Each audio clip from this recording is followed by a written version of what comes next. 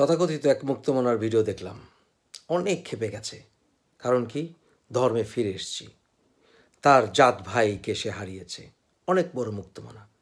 এত বড় মুক্তমনা যে অল্প বয়সে সতীত্ব হারিয়ে অল্প বয়সেই বিয়ে করে সেই অল্প বয়সী স্বামী তার সঙ্গে সংসার করতে না পেরে সংসারে অতিষ্ঠ হয়ে আত্মহত্যা করেছিল।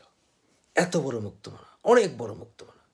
এত বড় মুক্তমনা যে সে পরবর্তীতে বিয়ে করে সেই স্বামীকেও হারায়, সন্তানদেরকে হারায়।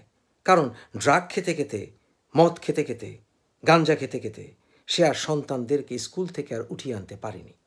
এত বড় মুক্তিমনা যে বিদেশের সরকার তার সন্তানদেরকে তার কাছে রাখা নিরাপদ মনে করেনি। এত বড় মুক্ত মনা যে তার স্বামী তাকে ঘর থেকে বের হয়ে যেতে বাধ্য করেছিল। এবং মধ্যরাতে আরেক মুক্তমনার কাছে গিয়ে সে আশ্রয় নিতে বাধ্য হয়েছিল।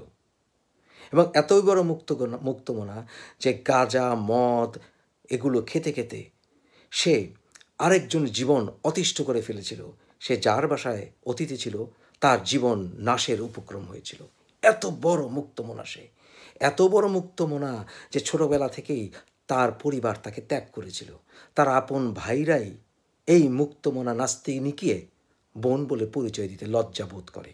এত বড় মুক্তমনা, এত বড় মুক্তমনা যে আপন ভাইদের কাছেই সে থাকতে পারে না।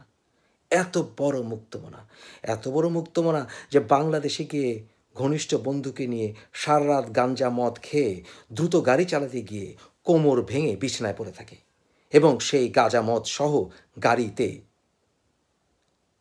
পুলিশ তল্লাশি করে অনেক কিছুই পায়। এবং নিউজ পেপারে যখন রিপোর্ট আসে, আমাদেরকে চেপে যেতে বাধ্য করা হয়। এত বড় মুক্তমনা, এত বড় মুক্তমনা যে বিদেশে এসে সন্তানদেরকে বনে বাজারে দেখতে হয়। কারণ নিজে ঘর ছাড়া। এত বড় মুক্তমনা যে আরেক বন্ধুর সংসারে গিয়ে আবার সেই বন্ধুর সংসারটি ভাঙে। এত বড় মুক্তমনা, এত বড় মুক্তমনা যে সে তার নিজের সংসারে থাকতে পারেনি। নিজের পরিবারকে রাখতে পারেনি, কিন্তু আবার মৃত বন্ধুর ষাট বুকে জড়িয়ে প্রেমের কাহিনী করে। এত বড় মুক্তমনা যে সে মৃত বন্ধুর ছবিটিকে বিয়ে করতে চায়। অনেক বড় মুক্তমনা যে ছবিকে বিয়ে করলে বিয়ে হয়। এত বড় মুক্তমনা। এত বড় মুক্তমনা যে গজ, গা, গাঞ্জা, চরস, আফিম, ভাম, এগুলো ছাড়া সে থাকতে পারে না। মারাত্মক মুক্তমনা। কঠিন মুক্তমনা। এই মুক্তমনায় আমরা জর্জরিত, সেই মুক্তমনা আবার অন্য মুক্তমতা আমাদের তথাকথিত মুক্তমনার বিরুদ্ধে সাবধান করে। কত বড় মুক্তমনা। কত শক্তিশালী মুক্তমনা। আসলে এই মুক্তমনারা আবার ধর্ম সম্বন্ধে ক অক্ষরও জানে না। ডিবেট করতে গিয়ে আরেক মুক্তমনার কাছে ধরা খায়। এত বড় মুক্তমনা যে সে ইসলামের কিছুই জানে না, কিন্তু আবার বড় বড় বই পড়েছে বলে দাবি করে। কিচ্ছু জানে না, কিচ্ছু জানে না।